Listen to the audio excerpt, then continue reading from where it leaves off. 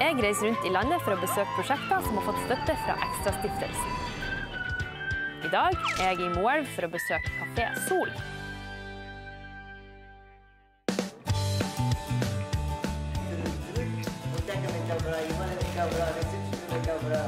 Hva er Kafé Sol?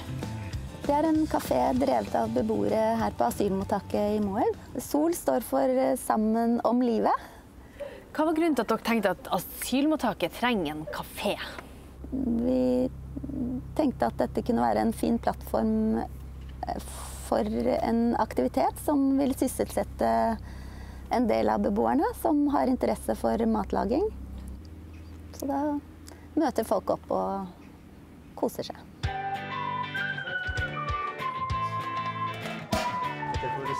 I will come to help you. You can share another of it. Yes.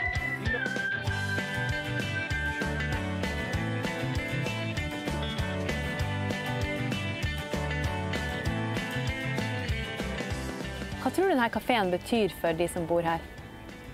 Jeg tror det er et lyspunkt i hverdagen. Og det sosiale rundt det, det måltidet. De treffer jo hverandre og blir kjent med hverandre på tvers av det de allerede vet og kjenner. Da. Så jeg tenker at det er en, eh, en veldig synlig effekt da, av denne av kafeen. Så når det nærmer seg kafédag, hvordan er stemninga? Er det noe annerledes stemning her da? Og da er man inne på kjøkkenet og ser eh, er det snart servering, og, og gleder seg litt til den gode suppa.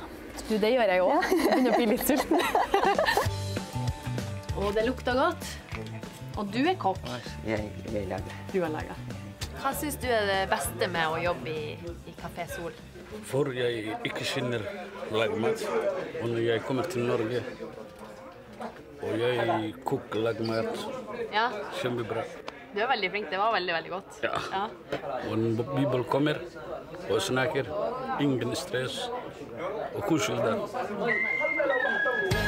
Hva gir det deg da når du ser dem er i full gang på kjøkkenet og praten går i kafeen? Og... Det er veldig godt å se at, uh, ja, at de har noe å holde på med som engasjerer dem. Uh, at de får brukt uh, det som de vet at de kan. Ja, at denne plattformen og dette møtepunktet faktisk virker som vi hadde håpet å, ja, at det skulle. Det varme midtpunktet. Mm. Med suppe. Med suppe. Mm.